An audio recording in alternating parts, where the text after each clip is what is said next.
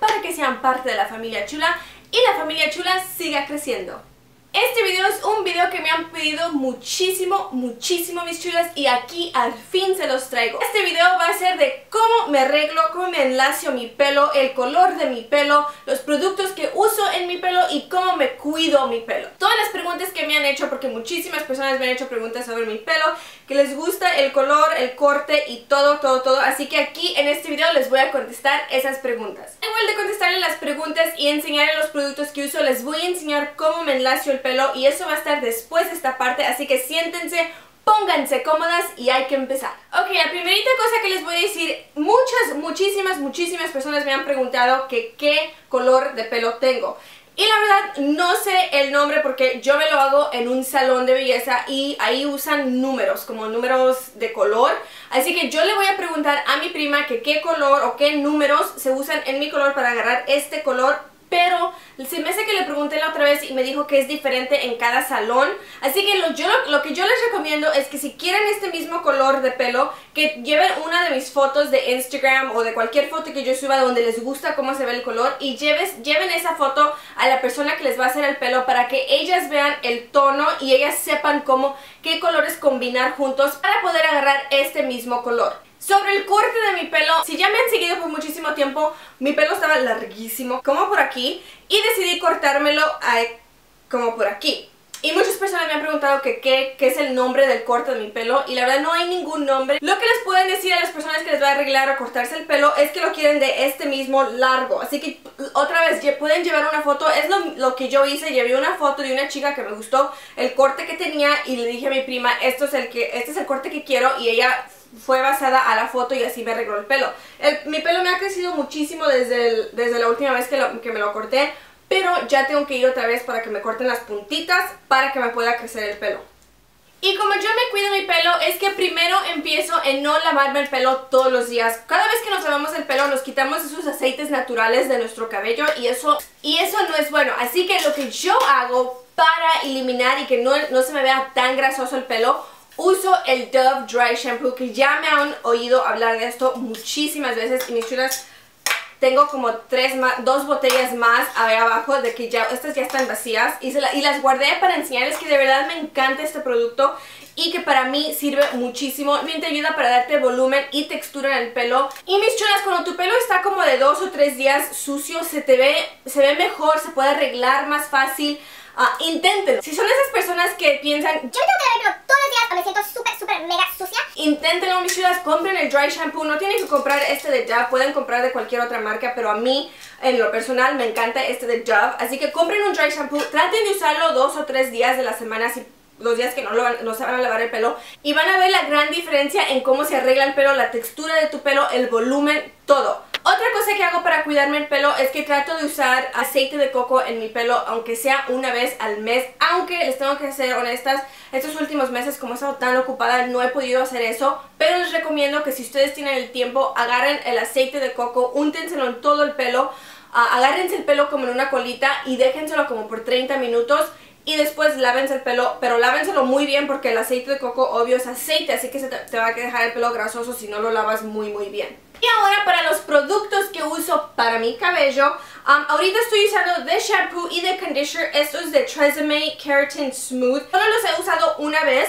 que fue ayer que me lavé el pelo y dice que esto te va a ayudar que tu pelo no tenga frizz por 7 días y que se quede quede así bien suavecito, bien suavecito sin esos pelitos locos que todas odiamos. Es el shampoo que estoy usando ahorita, así que ya que lo uso por unos buenos días, yo les digo si de verdad sirve o no. Después de que me lave mi pelo y salga de baño así bien empapada, bien empapada, entonces uso este de L'Oreal Sleek It Frizz L'Oreal Sleek It Frizz Vanisher Cream. Y en el video de compras, cuando lo compré, les mencioné que no sabía si me gustaba muy bien, pero mis chulas, la primera vez que lo usé no lo usé muy bien, así que lo volví a usar y lo he estado usando desde entonces.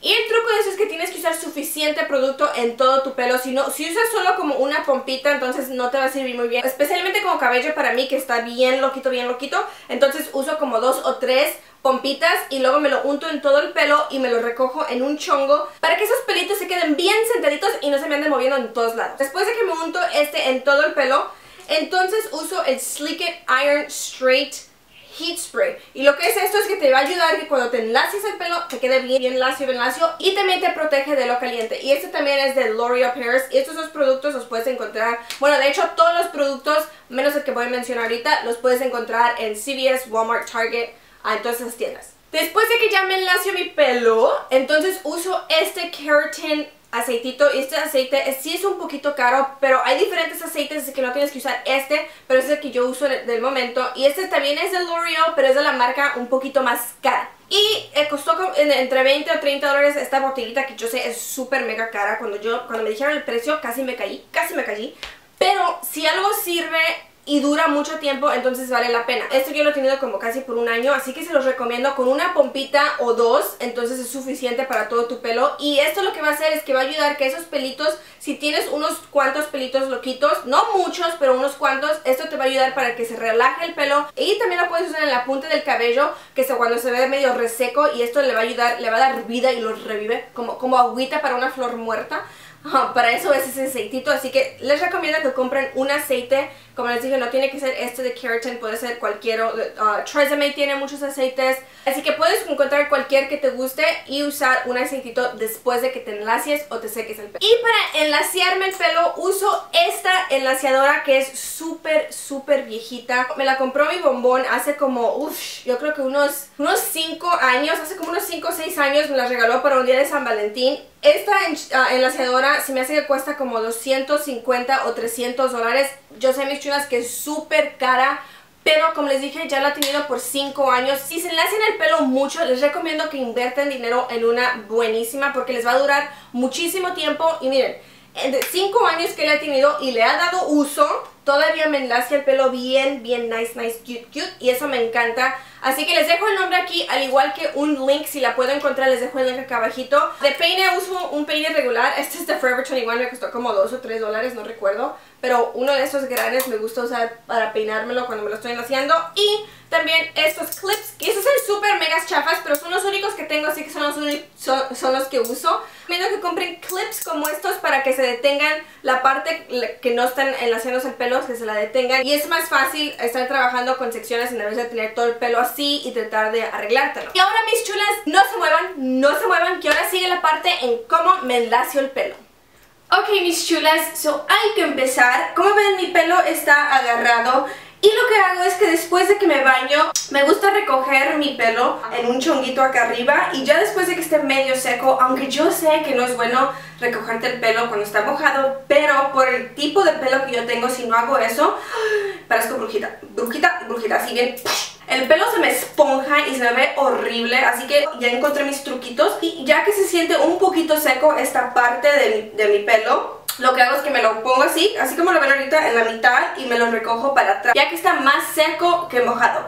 Y duermo así con él, así recogido, así, en, normalmente está así, como en una colita. Y duermo así con él y ya en la mañana me la quito, como lo voy a hacer ahorita, y mi pelo está ondulado. La, la razón por la que me recojo el pelo es porque si me lo dejo suelto, todos estos pelitos que les digo que tengo el, bien, el pelo bien frizzy, todos estos pelitos se me, se me, hacen así bien horrible y se me hace tan difícil arreglarme el pelo y se me ve fatal, fatal, fatal. Así que ese es mi truquito. Después que estoy lista para enlaciarme el pelo, agarro mi enlaciadora y esta, ya les dije, es la High Chai, High, Hey, no sé cómo se pronuncia, pero les dejo el nombre aquí abajito y el link Está súper mega caliente. Me puse protector de, lo caliente en el pelo cuando estaba mojado. Así que ese paso no lo voy a hacer ahorita. Después de que ya me suelto mi pelo así, me lo recojo a la mitad, como así. Y solo dejo abajito lo que me voy a enlaciar. Eso en este lado.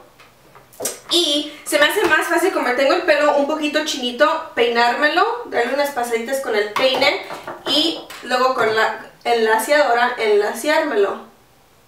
Esta está súper mega caliente. Voy a levantar un poquito porque el pelo está medio largo. Y así me lo enlacio. Si siento que todavía tengo unos pelos medio ondulados, entonces la paso otra vez. Me gusta agarrar pedacitos no tan gruesos porque siento que así se me enlacia mejor el pelo. Otra vez el peine. Le quito cualquier nudo que tenga.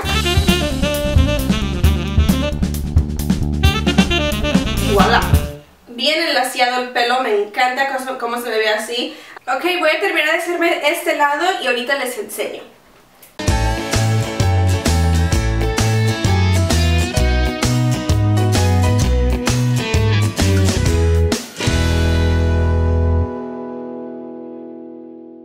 Ahora sí, esta parte ya está lista.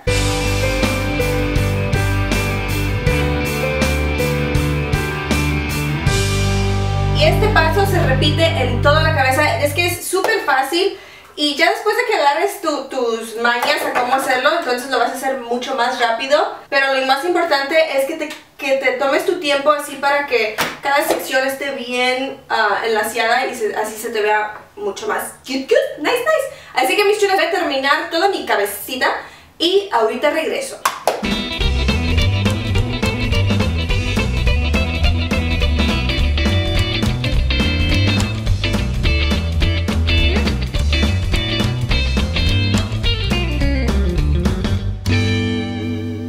Chulas, ya terminé toda mi cabecita. Como pueden ver, es súper fácil. Espérenme. Después de que termine de enlaciármelo, lo el último paso que hago es que agarro un aceitito, cualquier aceite que ustedes les guste. Yo uso este de Kerastase.